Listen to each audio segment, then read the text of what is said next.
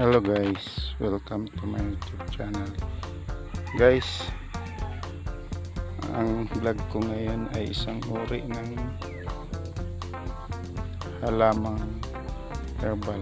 Walang iba kundi guys itong lubigan. Alam nyo guys, itong lubigan ay isang uri ng halamang herbal na napaka raming benefits na nalululot ito guys ay nakakaalis ng ng sakit. Katulad ng arthritis nakakaalis ng hilo. Pag ikay nahilo kukuha ka lang guys ng cup ng ganito nyan dito. Ano mo sa ulo mo aamuyin mo lang. Mawawala ng hilo mo. Yun naman guys sa arthritis kukuha ka ng laman nito itong lubigan lalagay mo sa alcohol. Ano no. Yan guys ginagawang panghaplas. Pangpunas guys. Tawagin sa Bicol panghaplas. Galog naman po pinupunas lang guys dun sa may masakit kang nararamdaman katulad ng arthritis. Pero guys sabihin ko muna sa inyo kung paano ba napaparami itong puno ng lubigan yan guys, tingnan nyo ito guys. Oh. Alam nyo guys, ito itinatanim ito dun sa medyo namamasa-masang lupa. Kasi guys, gusto niya yung medyo namamasa-masang lupa. Tulad nito guys, isang puno lang ito. Tinanim ng tiyain ko ngayon, marami na siya. Ayan guys. Oh. Nangyari guys, natabunan lang siya dito ng maghukay dun. Pero ito ayan tumutubo na siya. Isang puno lang ito guys pero ngayon marami na. Alam nyo guys itinanim ng tiya ko dito sa may pabulusan ng lababo niya. Pero hindi direkta siyang na babasa yung namamasa-masa lang ang lupa guys. Kasi yan ang mainam sa lubigan. Kaya guys ayan ito ang vlog ko sa inyo. At may isa akong guys na ipakikita sa inyo.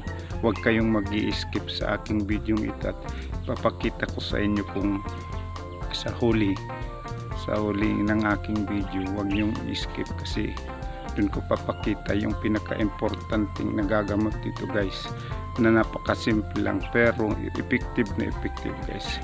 Kaya guys soon makikita nyo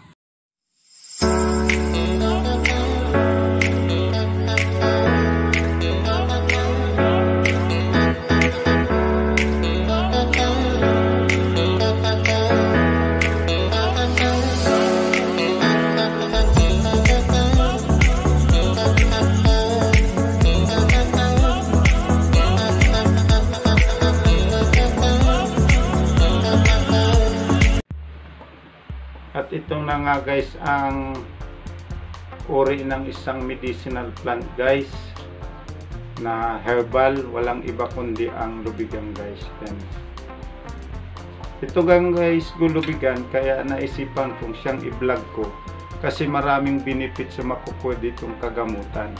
Unang-una guys, ito, itong talbos nito, itong daon lang nito, kumuha ka kayo, amuyin mo lang siya kapag ikaw ay nahihilo at ipunas mo dito sa may noo mo, yung katas-kakatasin mo, pupunas mo dyan, ay mawawala na yung hilo mo.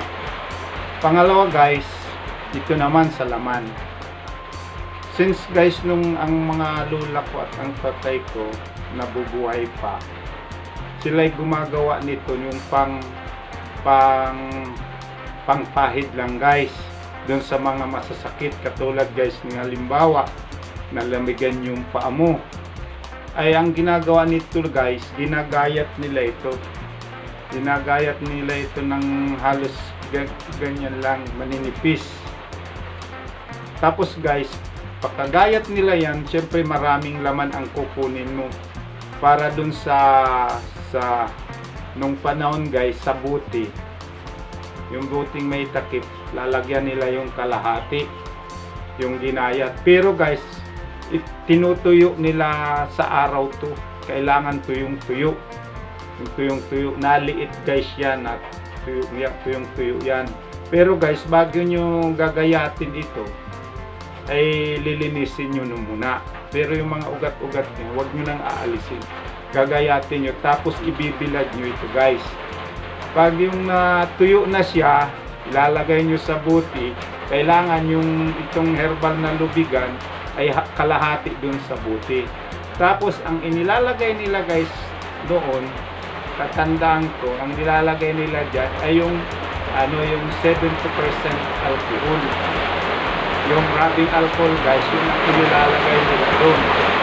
Para wala namang kung side effect kasi ang plus naman lang yun dun sa affected area na halimbawa kung saan ka may masakit.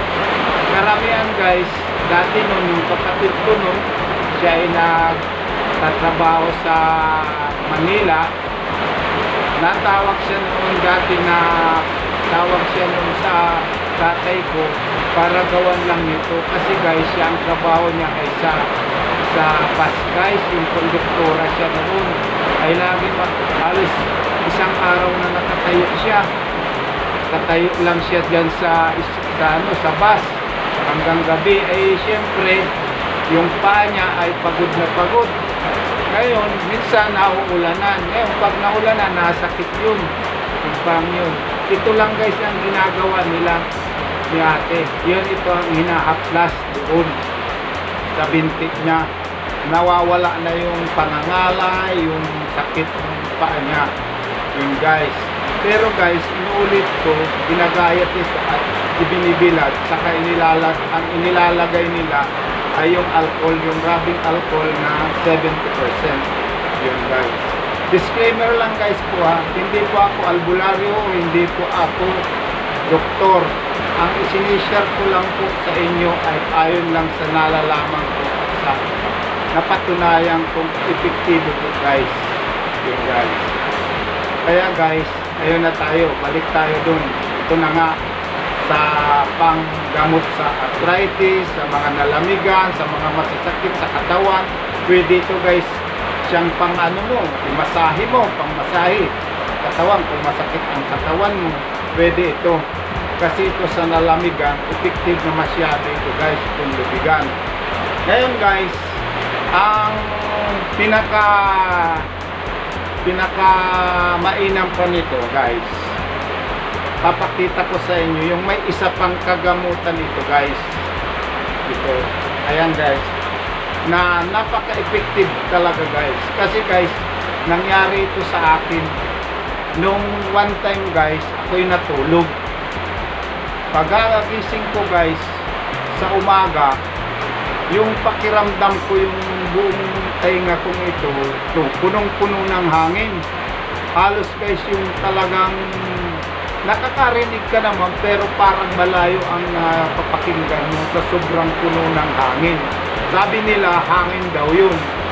Ngayon guys, may dito sa katabing bahay namin may isang matandang napagsabihan ko. Sabi ko bakit ganun ang tayo na to? Sobrang punong-puno.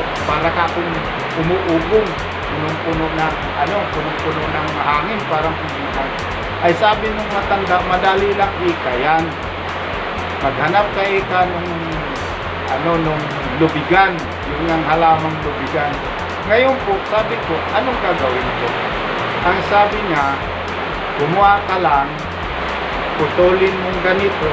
Sabi niya yan taas linisan mo yan guys. Yung linisan nyo guys ganito ang ginawa ko guys lininisan kong ganyan talagang malinis na siya guys yan kung maaari, paliitin nyo guys na ano, kunting-kunti lang, pumutol ka lang dun sa ano, ayan, ganyan. Ayan, ito'y malinis na guys. Ayan. Yun. Ito guys, napaka-effective talaga nito sa nala, na hangin na ano. Ayan guys, kapag malinis na ganyan na, ayan, nagawa nyo ng ganyan, ang gagawin nyo, huwag nyong dalawang tainga ang lalagay nyo, isa lang, gaganon yun guys. Yan, sa butas na ganyan. Lalagyan mo ng ganyan. Mararamdaman mo guys, pag nilagay mo itong may hangin ka dyan sa tainga mo, mararamdaman mong parang inaano niya ang tawag sa Bicol, parang hinihigop niya dito yung hangin. Parang pinapalabas niya dun kaliwat kanan guys. Ayun pinapalabas niyang ganun. Yan ganyan guys. Ayan, ayan.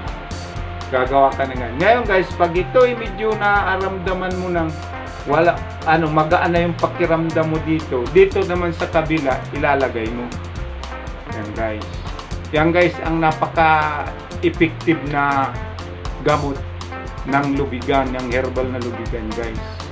Alam nyo guys, nung maramdaman ko ito, gabi pa lang naisip ko na pupunta na ako sa sa doktor, yung specialista sa tainga. Kasi hindi ko naman alam kung anong nararamdaman ko. Alam nyo guys, nung turuan nga ako nung matanda, yung kapitbahay namin, dinilagyan ko. Minutes lang guys. Talagang parang instant lang na nawala. Talagang nawala. Siguro mga 30 minutes lang guys na nilagyan ko. Kaliwat kanan normal na yung pakiramdam ko eh. wala na. Wala na yung umuugong na parang di mo alam kung parang 6 by na yung punong-puno antay nga mo. Di mo malaman kung ano ang nasa loob. Yun guys ang pakiramdam mo guys guys parang hinuhugot siya. Pinapalabas niya yung yung nakakabara dun sa anong tainga mong sabi nila ay ano daw. Sabi nila ay ano daw yun yung hangin. Totoo nga naman guys at pag ano parang sumisingaw yung hangin dyan oh. kaya pero guys ang paggagawa nito wag dalawa isa lang para dun sisingaw yung isa. Ngayon pag nagsingaw na yon dito ka na naman sisingaw na naman yun dun sa kal- kaliwat kanan. Hindi sabay guys. Yun ang pinakaano nito guys. Yung guys. Kaya huwag kayong mag skip guys at tapusin nyo ang video ko para makita nyo kung paano talaga igamot itong lubigan na ito. Yan guys ang pinaka pinakaano ko ng vlog kong ito. Isinishare ko sa inyo ang nalalaman kung totoo talagang effective itong makaalis ng hangin sa tainga guys itong lubigan napakasimple lang gaganyan lang gagawin mo yan, yung kasya lang yung sa time mo, gaganyan mo lang sa ano, ayos ah. Antayin mo na lang mawala at sinisip-sip niya yan. Palalabasin niya yan. Ang hangin na yan. Yan guys. Kaya yan guys, sana naman ang video ko magustuhan nyo. At i-share nyo naman sa mga kaibigan nyo o kahit kanino guys. Para naman talaga ang purpose naman guys ng ng channel kong ito ay makatulong sa kapwa lalong lalo na dun sa mga kapos ng pera na may nararamdaman na yung sinasabi ko na hangin na halos hindi mo na malaman kung paano ba anong mangyayari sa buhay mo at pag punong-puno talaga ng hangin yung ano mong napaka-effective nito guys kaya ito ay bini, ginawang ko guys ng vlog para i-share ko sa inyo yung nalalaman ko. Kaya yan guys, huwag nyo namang kalimutang i-subscribe, i-like at i-share ang aking video. At huwag nyo namang kalimutang pindutin ang notification bell para updated kayo sa mga videong i-upload ko. Thank you for watching guys. Peace.